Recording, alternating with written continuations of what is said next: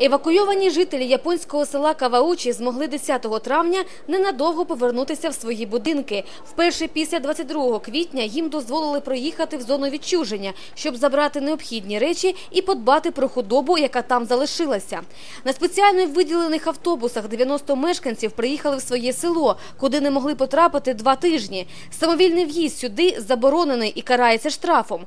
Оскільки рівень радіації в межах 20-кілометрової зони навколо атомної станції Фокусіма-1 залишається підвищеним, люди змушені дотримуватися запобіжних заходів.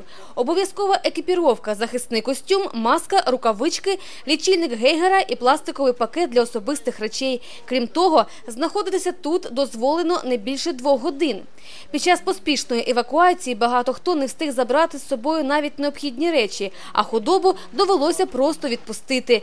Так вчинив і цей фермер, який 30 років займався розведенням корів.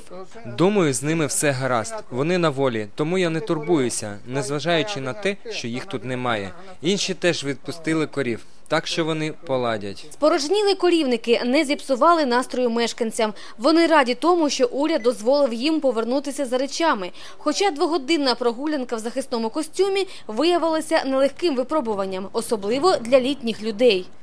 Було спекотно і мені було дуже жарко. Після закінчення двох годин мешканці, пройшовши радіаційний контроль, змінивши бахіли і знявши рукавички, завантажилися в автобус. 12 травня свої будинки відвідають евакуйовані жителі села Кацурао.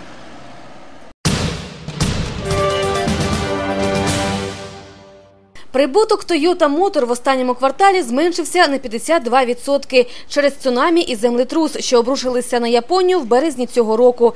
Про це в середу повідомив глава автогіганта на прес-конференції в Токіо. Остаточно масштаби збитку нанесеного виробництва все ще не визначені, але очевидно, що для найбільшого в світі автомобілебудівника настали складні часи. Головна проблема на сьогодні – брак деталей. Щоб не втратити позиції на ринку, Toyota Motor планує відновити виробництво на 70% 10% вже в червні. Нам вдалося збільшити виробництво. Це результат неймовірної важкої роботи, виконаної кожним співробітником компанії. Як повідомив виконавчий віце-президент компанії, наслідки стихії обійшлися їм в 110 мільярдів єн. Це майже півтора мільярда доларів США. Очевидно, що в цьому році за обсягом міжнародних продажів компанії доведеться поступитися першістю General Motors і Volkswagen. З іншого боку, через обмеження поставок популярних моделей, таких як гібрид Toyota Prius, компанія втрачає клієнтів і вже поступається своєму конкуренту Hyundai Motor з Південної Кореї. Втім, аналітики говорять, що падіння прибутку Toyota – тимчасове явище, викликане дефіцитом пропозиції, а не попиту. Я готова встречать гостей. Пишно вдягнуті зі святковим настроєм вихованці Новоолександрівського дитячого садочку Сонечко, що в Калинчацькому районі, слухняно шикуються у рядок. До них приїхали високоповажні гості. Раді ми вас привітати, щастя і добра бажати. У маленькому тісному приміщенні зібралось мало не усе село. Воно й не дивно. Проігнорувати таку урочисту подію, а саме відкриття третьої групи у дитсадочку, не змогли представники сільської ради, Каланчацької райдержадміністрації та народний депутат України Катерина Самойлик. Зустрічали гостей суто по-українськи, хлібом та сіллю, народними піснями і з відкритим серцем та душею. Для вихователів та батьків відкриття додаткової групи стало справжнім святом. Черга до дитячого садочку у Новоолександрівці існує від самого народження. Наразі з поміж 109 дітей у селі дошкільний заклад відвідує лише половина. Третя група дає можливість влаштувати ще 16 дітлахів. Крім того, відкриття додаткової групи вирішує й інші проблеми у селі. Что такое в селе не иметь э, возможности устроить ребенка в садик? Труд в селе очень тяжелый. Э, но еще я хочу сказать, это очень важно. Э, совместно с э, головой райдержадминистрации и э, с головой районной рады мы э, обговаривали такую про- программу. У нас уже есть результаты. Э, Родители могут устроиться на сезонные работы. Это отчисление в- в бюджет, то есть это налоги, и уже 9 человек, я считаю, это результат. Если бы я его закрепила хотя бы в течение года или там пяти лет, вот как я буду работать, вот, это было бы очень хорошо. Питання про розширення дитячого садочку тривалий час відкладалось у довгий ящик через відсутність фінансування. Втім, якщо братись за вирішення проблеми гуртом, її неодмінно буде вирішено. З районного бюджету на відкриття групи було виділено 43 тисячі гривень. Решта дотації з державної скарбниці. Мы, конечно, э, поддерживаем председателя сельского совета во всех начинаниях. Районный совет народных депутатов выделил деньги из бюджета. Э, Наталья Михайловна обратилась в районную администрацию. Мы подключили спонсоров. Э, На подходе еще подарки для садика. Спасибо большое Екатерине Семеновне, что она уже сегодня одарила наш этот детский дошкольный, детское дошкольное учреждение. Ну и мы рассматриваем вопрос продолжения ремонта. Ремонта здания будем расширять, потому что деток в селе много, еще не все, конечно, устроены. Вихованців дитячого садочку теж не залишили без уваги та подарунків. Зокрема, свої творчі здібності дітлахи тепер розвиватимуть за допомогою сучасного музичного центру, якого, до речі, у них досі не було. Але вже в найближчому майбутньому на них чекає ще один сюрприз конвектор, аби і взимку малечі було тепло та затишно. 20 років е, занепаду воно е, наклало свій відбиток на село, але те, що ми обрали е, таку енергійну і молоду людину головою, який болить все. Чи є щось сьогодні поїсти старенькій бабусі? Чи будуть майбутнє покоління залишатися в цьому селі?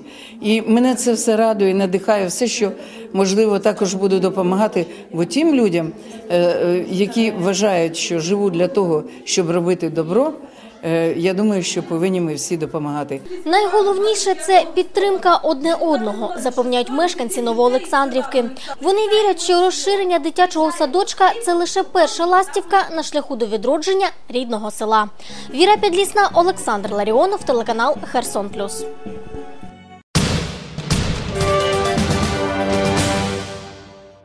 Нарешті дочекались.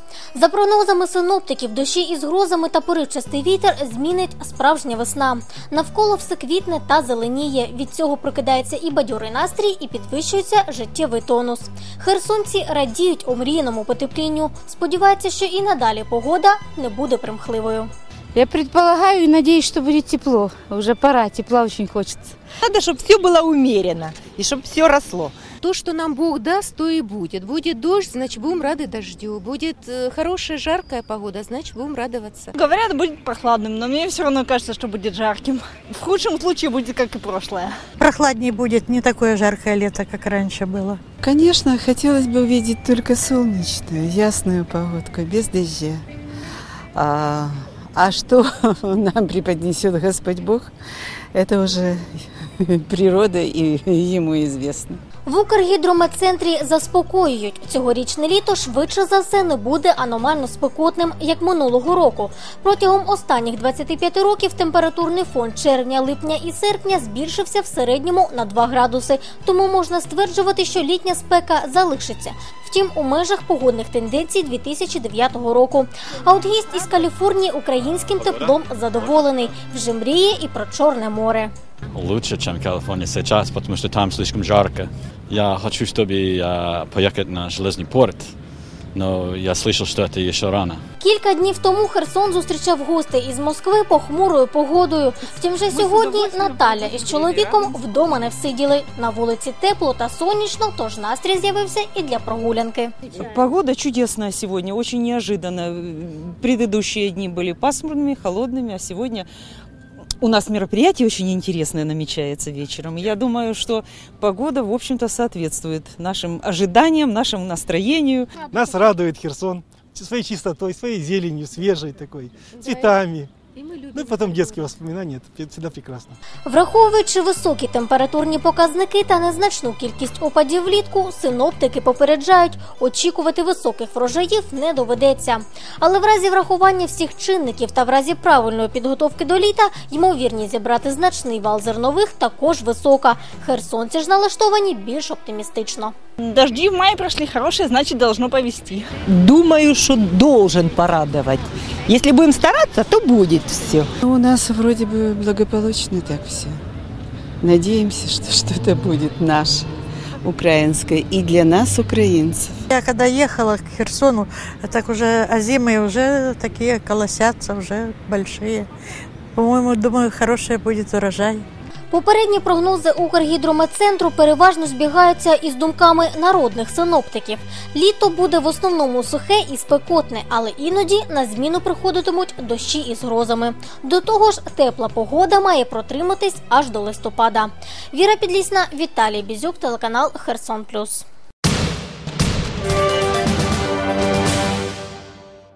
Дворічний Данилко єдина і довгоочікувана дитинка у сім'ї. Хлопчик народився з вродженим діагнозом кондродистрофія з дефектом росту трубчатих кісток. Тулуб у хлопчика в нормі, а ручки та ніжки короткі. Діти з таким діагнозом виростають максимум до 120 сантиметрів. На лікування необхідно 300 тисяч гривень. Для сім'ї хворого ця сума нездоланий бар'єр. Благодійний фонд Устина Мальцева просить усіх небайдужих та милосердних людей допомогти у зборі коштів на проведення нагальної операції маленькому хлопчику. Мобільний телефон Порчук Ольги Анатоліївни 095 397 02 92.